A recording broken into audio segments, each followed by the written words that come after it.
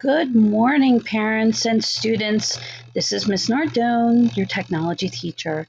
Listen, I know there's a lot of issues going on with BrainPop and clicking on links, and the links aren't taking you where they're supposed to be, and then the kids can't log in. And I, I get your frustration. I really do, and I feel I feel terrible.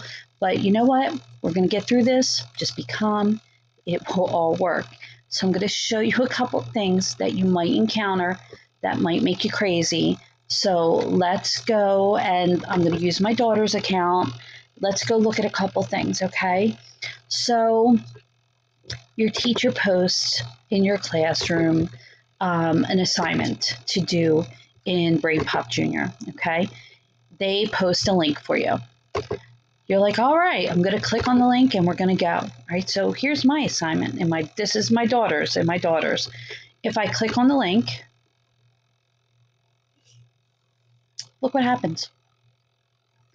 It's not taking me anywhere. Now, mind you, my link is correct, but also notice up here it's taking you to brainpop.com. I don't know why. We can't explain it. So I'm going to show you instead of getting upset or, you know, saying we can't find it, we can't do it. Here's going to be the trick, okay? You're just going to simply, when you have a BrainPop assignment, go to BrainPop Junior, okay? You're going to go to login okay? You're going to put in your username and your password. Now, also remember, again, technology, we love it, but it's not perfect.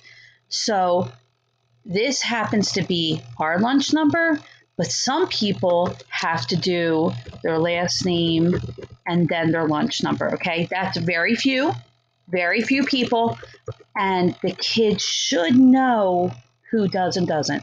You can always email me at nardonea at eht.k12.nj.us if you're having problems logging in, because I'm the one that's been solving all those problems. All right, so once you log in, you're going to see up here, now you have your lunch number, you have your dashboard, you have notifications. If I click on my dashboard,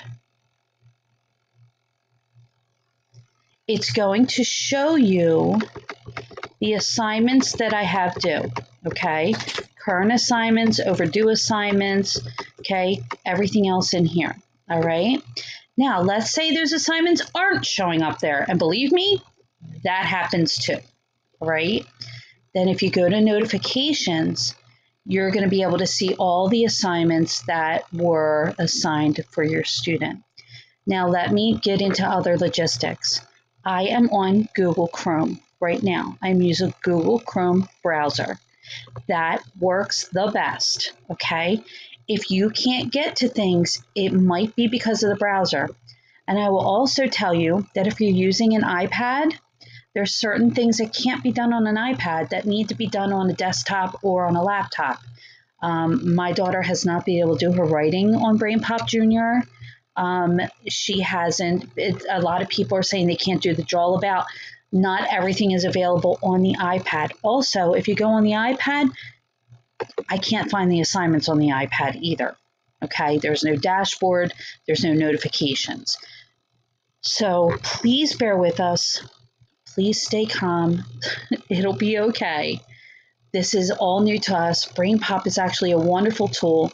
Um, if you have any questions or you need any help, you can reach out to me, like I said, nardone at eht.k12.nj.us. I'll be more than happy to help. And every Friday, I will be doing my lessons and posting them on my Google Classroom for you. And um, I'll be available for help during the help hours. Talk to you soon. Be well.